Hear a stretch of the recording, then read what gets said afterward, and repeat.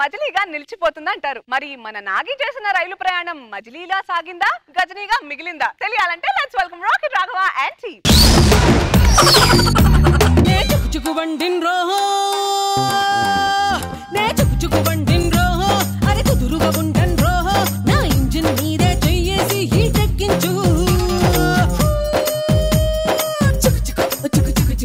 మనోహర. నా హృదయమునే మరచినానంత. ఏంటో సార్? మనో గారిని చూడగానే నా హృదయం అంతా మనోహరంగా మారిపోయింది. అంతేనా? నేను తేడా అనుకున్నా. తేడా అనుకున్నా. అభిమానిగా మేడం. సార్ నమస్తే సార్. నమస్కారం నమస్కారం అయ్యా. ఎక్కడో దెబ్బ కొట్టేశారు మేడం మీరు. మరి నన్ను చూసి పాడకుండా అక్కడ చూసి పాడితే నాకు కోపం వచ్చింది. మీ గురించి పాడడానికి పాటలు చాలవు మేడం. ఈ రోజు ఇప్పుడు మామూలుగా జర్నీ చేయాలంటే బండి మీద ప్రయాణం చేస్తే బాగుంటది. కానీ కారులో వెళ్తే ఇంకా బాగుంటది. కారు వదిలేసి బస్సు మీద వెళ్తే ఇంకా బాగుంటది. బస్సు కూడా వదిలేసి ట్రైన్లో వెళ్తే ఆ మజాయే వేరండి. అసలు రైలు గురించి చెప్పాలంటే అండి ఆడపిల్ల కాళ్ళకి పట్టాలందాం భారతదేశానికి రైలు పట్టాలందాం. ఇవన్నీ ఎందుకు చెప్తానంటే నేను పండగకి మా ఊరు వెళ్తాను ట్రైన్కి టైం అయిపోతుంది. వస్తాను సార్. వస్తాను మేడం. వస్తానండి Bye happy journey Teng, teng, teng. యాత్రికం కృపయం జాంగే train number శూన్య శూన్య శూన్య హైదరాబాద్ నుంచి విశాఖపట్నం పోవు లంకటక ఎక్స్ప్రెస్ బయలుదేరేటప్పుడు సిద్ధముగా ఉన్నది జప్పగలదు ఎక్కేసేయండి రైలు రైలు రైలు ఆపాలి ఆపాలి ఆపాలి ఏయ్! ఆపాలండి రైలు ఏండి చెప్పు. ఎక్కడో పడిపోయిందండి ఒకటే. చెప్పేసింది నువ్వేనా? నేనేనండి. అది మీరు ఇస్తారా? అవునండి. నేను పర్ఫార్మెన్స్ చూసి జనాలు ఇస్తారేమనుకున్నాను. ఏంట్రా ఏంటి? రెండో సేపు ఎక్కడ ఉండాలి. అదిగో చూడు. ఓయ్! పక్క బోగిలోకి వెళ్ళిపోయిందా? ఫోన్ మాట్లాడితే చెప్పులు కూడా ఎక్కడ పడుతున్నాయి చూసుకోరు జనాలు. ఫోన్లో అంటే అంతలేండి ఈ మధ్య అందరూ. ఆ, గురుగారు. హాయ్. ఎక్కడికి వెళ్తున్నారండి? నేను ఎక్కడికి వెళ్ళండి రైలు తీసుకెళ్తుంది. మీరేడుకో తేడా ఉన్నట్టున్నారు? నన్ను చూసిన ప్రతి ఎదవా ఇలాగా అంటాడు గురుగారు అదే మాట్లాడుతున్నారండి మీరు? అంటే ఎదవల గురించి మాట్లాడుతున్నాను సార్ మీ గురించి కాదు గురుగారు. ఆకలి వేస్తుంది. ఏంటి గురుగారు అది? దద్దోజనం అండి. చూసారా? దద్దోజనం. పేరులోనే ఉందో జనం అని. మనం తినేటప్పుడు అందరికీ పెట్టాలండి. అప్పుడే దద్దోజనం. నాదది? తీసుకోండి గురుగారు. నాకేముంది ఇందులో? అంటే మీరు ఒక్కళ్ళు తినితే మిమ్మల్ని పెద్ద దద్దోజనం కాదు దద్దోజనం కాదు అనుకుంటారు నాకు ఆకలి వేస్తుంది ఇప్పుడు నేను ఏం చేయమంటాం వస్తుందండి ఏదో ఒకటి అమ్ముకోవడానికి వస్తుంటాయి కదండి బిర్యానీ.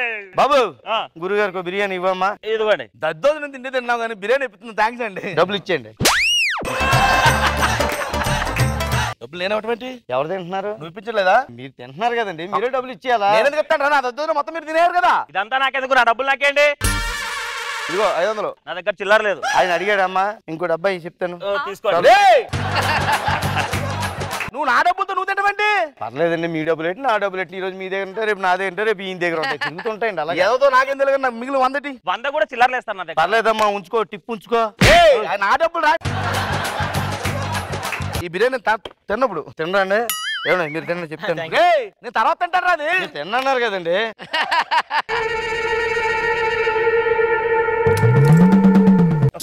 ఏం చేస్తున్నావు? అంటే గోదావరి వెళ్ళిపోతుందేమో అని చూస్తున్నాను సార్. వెళ్ళిపోతే ఏంటి ఇప్పుడు? అంటే డబ్బులు వేస్తారట డబ్బులు ఎత్తే పుణ్యం వస్తారంట గోదావరిలోంచి వెళ్ళినప్పుడు. పుణ్యం వస్తుందా? పుణ్యం నాకు వచ్చారు బాబా. నా డబ్బులు వేసేవేంట్రా. పుణ్యం వస్తుందండి ఏం పర్లేదండి మీరు. ఏది ఏమైనా కానీ బ్రిటిష్ వాళ్ళు లేకపోతే ట్రైన్ జర్నీ ఉండదు కదయ్యా. అప్పుడు పట్టాల మీద నడుచుకుంటే వెళ్ళాలంటే చాలా ఇబ్బందిగా ఉండేది. ఏ స్టేషన్లో దిగుతావు నువ్వు? ఏ స్టేషన్లో దిగుతావు నువ్వు? సార్. అవసరమా అశోక్? అయ్యో బాబా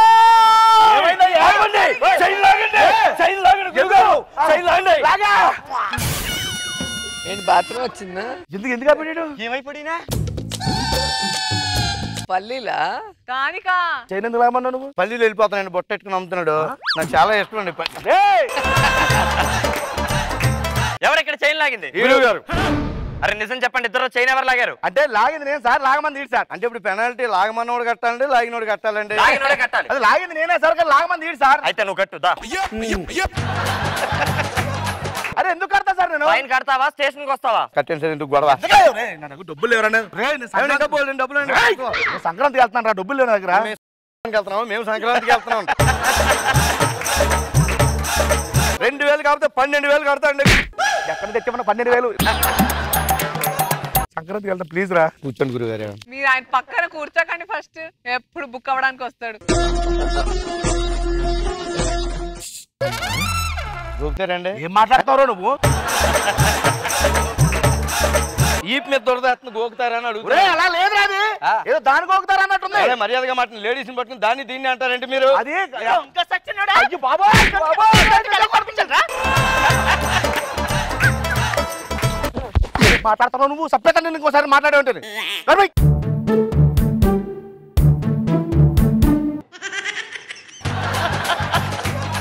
పెళ్ళి అయిందండి అవలేదు. నిజమేనండి అయ్యి ఉంటే బండికి వెళ్ళేవారు లేదు కాబట్టి రైలు బండికి వచ్చారు ఇంకొకసారి మాట్లాడో చంపేస్తాను ఏమనుకున్నావు నోరుమై. నోరు ముసాయి.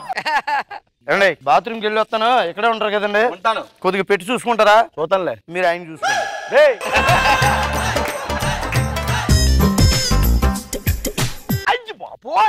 రేయ్! బాత్రూమ్ కడగలేదు నువ్వు? నీళ్ళలేదు బాత్రూమ్లో నేను ఎందుకంటే నా ముందు నీళ్ళు కొట్టాడు ఎట్టండి చిచ్చి! ఎవరు ఇప్పుడు బాత్రూమ్కి వెళ్ళి వచ్చింది? గురువు గారు ఇద్దరులో చివరికి ఎవరు వెళ్ళి వచ్చారు? నేనే సార్. అయితే నువ్వే ఫైన్ కట్టాలి. అదిగా సార్. నువ్వు స్వచ్ఛ భారత్కి తూట్లు పొడిచావు. నువ్వు ఫైన్ కట్టాలి ఇప్పుడు. అదిగా సార్ డబ్బులు లేవు సార్. నేను సంక్రాంతికి వెళ్తాను నేను సంక్రాంతికి వెళ్తున్నా? కట్టండి. అరే స్టేషన్కి వస్తావా? సంక్రాంతికి వెళ్తావా? వెళ్ళిపోండి. నీకు ఎక్కడ దండం పెట్టమని చెప్పరా? అక్కడ పెడతాను రా. ఊరుకోండి సార్. ఏమరా ఏం మీరు మాట్లాడుతున్నావు నాకు దండం పెట్టమేట అంటున్నాను సార్. కూర్చో. అన్ని టికెట్ ఏది? ఆయన దగ్గర టికెట్ కూడా లేదా? ఈ సీట్ నీది కాదు. లేదు నేను పడుకోవాలి. మీరు బుక్ చేసుకున్నారండి ఆ మరి నా సీట్ ఇది. గురుగారు మళ్ళా మనమాట మీరు ఎక్కడికి వెళ్తున్నారండి? అనకాపల్లి వెళ్తున్నాను. అయితే నేను అన్నవరంలో దిగేస్తాను కొద్దిగా లేపుతారండి. అమ్మయ్య ముందు దిగిపోతుంది దరిద్రం. ఆ, లేపుతానులే. గురుగారు లేపుతారు కదండి? లేపుతానయ్యా. ఆయన స్కిట్లు లేపమంటే లేపడు కానీ లేపుతాడులేండి.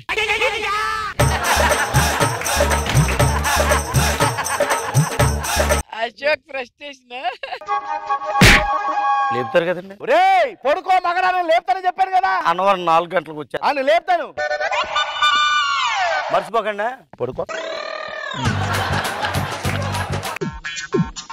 పల్లి బఠానీ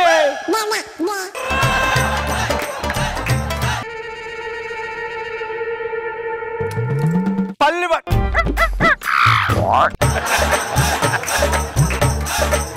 బఠ చౌదరి ఎందుకు వచ్చి జరుగుతున్నావు? అంటే మీరు పడుకున్నారు లేదా టెస్ట్ చేస్తున్నానండి. అంటే మళ్ళీ నేను నిద్రపోతే అన్నవరంలో ఇలా పడుకుంటే ఏదో చేస్తాడు. మాలు పడుకుంటాను. నిన్ను పడుకొని ఇచ్చేలా లేడు ఆయన. నిద్ర రాకుంటుందండి. ఏమన్నా నాలుగు డబ్బులు వచ్చి పళ్ళు ఏమన్నా చెయ్యాలా? ఏ జీవన తరంగాలలో ఆ దేవుని చదరంగంలో ఎవరికి ఎవరు సొంతమో ఎంతవరకు బంధమో తడుపు చించుకు పుట్టిందొకరు. నిన్ను మోచేదొకరు తెల్ల- ఏం చేస్తున్నావురా? అంటే మీరు అనవసరంగా ఫైన్ కట్టేసరికి దాన్ని రికవరీ చేద్దామని ఇలాగే ప్లాన్ చేస్తాం. చే అది ట్రైన్ వద్దు ఏమొద్దు నేను ఎక్కడ దిగిపోతా? గురుగారు తీసే! గురుగారు. ఏమైంది? నేనే లాగాను. అది కాదు. పదివేలు. ట్రైన్ ఆల్రెడీ ప్లాట్ఫామ్ మీద ఉంది. ప్లాట్ఫామ్ మీద లాగానా? పోన్న డబ్బులు నాకు ఇచ్చండి సారీ చైన్ లాగినందుకు డబ్బులు తీసుకుంటాం. డబ్బులు డబ్బులు తీసుకుని వెళ్ళిపోతారేంటి అదేంటి గురుగారు భలేవారు రండి చెప్తాను. కొట్టకూడదని వదిలేస్తారు? వెళ్ళకే సార్ సార్ గురువు గారు అంటే డౌట్ సార్ నువ్వు నన్ను చెప్తా కింద చెప్తాను నన్ను? ఏం గురుగారు అన్నవరం వచ్చేసి నేను కూడా దిగేస్తాను ఇంకెందుకండి?